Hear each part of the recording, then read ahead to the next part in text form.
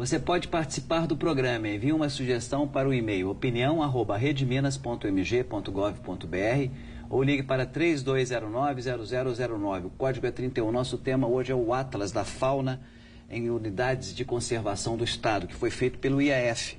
E a Sônia Almeida é gerente de proteção da fauna e flora. Sônia, quais foram as espécies em extinção retratadas no Atlas? A gente trabalhou com muitas espécies, né? Um total de 175. Dessas espécies, 30 apresentam categoria de ameaçada de extinção para Minas Gerais.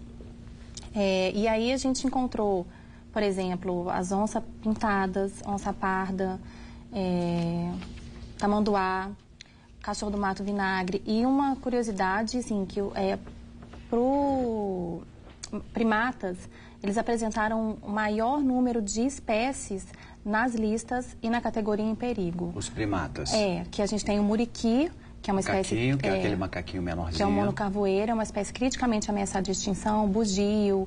É, então, os primatas, de um modo geral, eles estão é, quase todos presentes nas listas de ameaçados de extinção.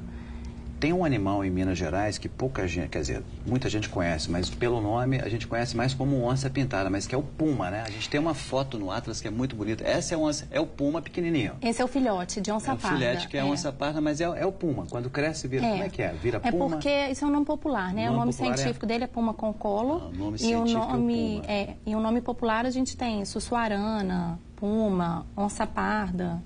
E aí a gente tem vários nomes populares para essa espécie. Essa foto é muito bonita. E tem ele já grande, né? O filhote é. já crescido, que a gente vai ver daqui a pouquinho. Essa foto foi tirada no Parque é, Estadual Veredas do Peruaçu. No parque lá do Peruaçu? É, lá no norte de Minas. É raro. Então, esse está em extinção e o que Ela está que... ameaçada de extinção e, é, e, são espécies difíceis de ver mesmo. O visitante, quando vai num parque Normalmente, é, ele não encontra essas espécies porque elas têm hábitos crepuscular, né, à noite. À noite. É, e durante o dia ela fica descansando mesmo, como nessa foto aí. É muito bonito. Você imagina passear por um parque e, e ver um animal desse. Agora, também tem os cuidados, né? É. Você não vai chegar perto num animal desse. É, normalmente, o próprio animal também ele não se apresenta tão facilmente assim. Ele fica mais escondido, quando ele vê uma movimentação de visitante, ele não se aproxima não. Então, é difícil ver.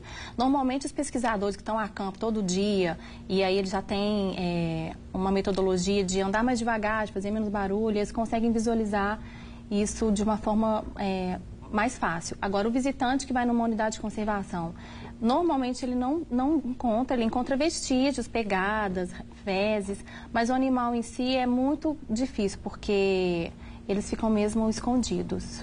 A gente tem um, um outro gráfico aí que eu queria que você comentasse uhum. é, sobre esses animais em extinção. Esse é um gráfico que o Atlas apresenta. Explica pra gente, Sônia, o que, que ele traz?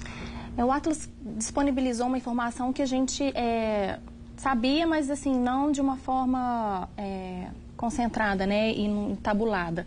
Então, a gente trabalhou com três listas. A lista de espécies ameaçadas no âmbito mundial, as listas brasileiras, elaboradas pelo Ministério do Meio Ambiente, que são de 2003, e as listas estaduais, a lista estadual né, de 2010. Então, essa, esse, esse gráfico, ele mostra que no âmbito é, nacional, as espécies que foram é, relatadas nos relatórios, Sim. elas encontram-se no status de vulnerável, que é um status mais brando.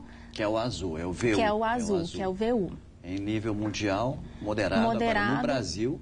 É, no Brasil, ele apresenta... É a maioria das espécies está no status de vulnerável, que é um status mais brando, Sim. do categoria de ameaçado de extinção. E em Minas, por sua vez, já no status intermediário, né, que é, no, que é em, ameaça, em, em perigo.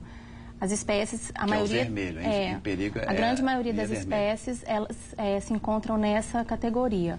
Então o Atlas mostrou isso para a gente. Agora é, cabe aos órgãos ambientais direcionar os esforços e de pesquisa, inclusive também, não só de campanhas de educação ambiental, mas campanhas de fiscalização preventiva contra a pan ilegal, caça predatória, para diminuir a pressão sobre essas espécies e incentivar o meio acadêmico também a propor medidas, a trabalhar com, com pesquisas que a gente consiga é, depois trabalhar ações para reduzir esse status, porque hoje a lista ela serve para isso, ela mostra o que está ameaçada, daí você, você tem que trabalhar ações para tentar reduzir a categoria de ameaçado da espécie. Então, uma espécie hoje que está em perigo, a gente tenta trabalhar para que ela diminua pelo menos até vulnerável.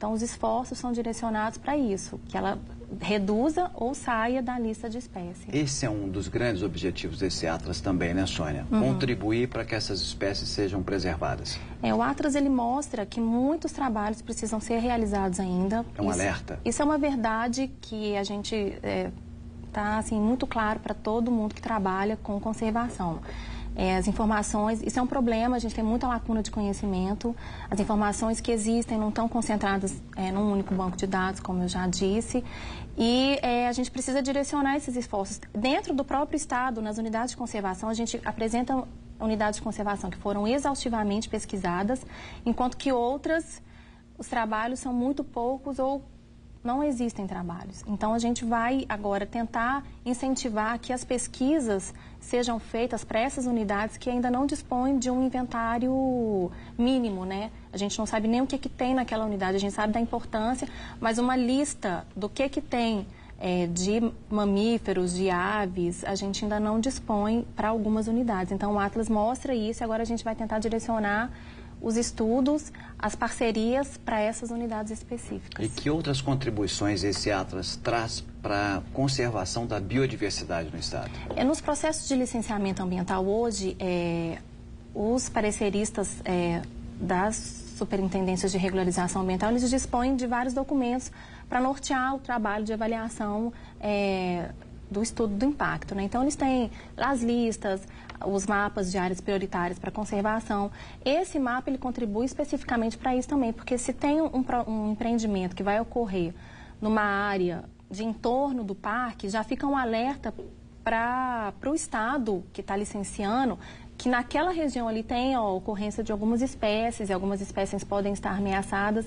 Então, na hora de você pedir condicionante, mitigar o impacto, você já tem um start do que, que você tem que observar e monitorar ao longo do, da ação do empreendimento. Né? Então, e o Atlas passa a ser parte do Plano Estadual de Proteção à Biodiversidade. Ele, ele é um elemento ali para contribuir para todas essas ações que precisam ser tomadas para se evitar a extinção de muitos animais, como o puma, por exemplo? Também. Ele, ele faz parte, né? Porque hoje o, o Estado tem uma política de trabalhar com, com um plano estadual de proteção à biodiversidade. E esse plano ele vai ser as diretrizes, né? Ele vai determinar as diretrizes, as metas para o plano de governo e para o IEF em si. Então, a ideia é que a gente faça um trabalho descentralizado por bacias é, no interior e que a gente retrate a realidade de cada região de uma forma bem específica e bem real, né? Dos problemas e do que precisa ser feito para cada é, regional que a gente vai trabalhar. Sônia,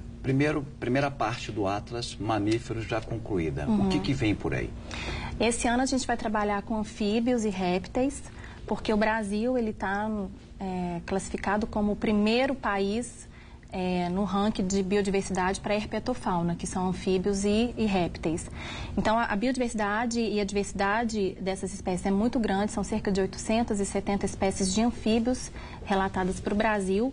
E então, com o Atlas, agora a gente vai saber a contribuição do Estado de Minas Gerais para essa significância toda de riqueza em anfíbios e répteis. Então, o Atlas, a gente vai começar a compilar e organizar a informação disponível para a gente ver o tanto que a gente contribui para essa riqueza toda do Brasil. Tem uma previsão para que essa segunda parte, do, esse Atlas dos Anfíbios, seja publicado na internet? A gente vai seguir a metodologia do, de mamíferos, né? Esses primeiros meses a gente faz a compilação dos dados.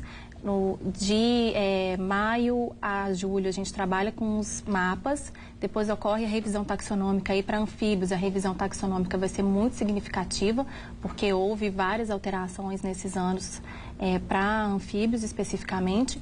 Então, até o final do ano, né, em, em, dezembro, a gente publica como foi feito com o Atlas de Mamíferos. A gente disponibiliza a, o Atlas na página do IEF para download também.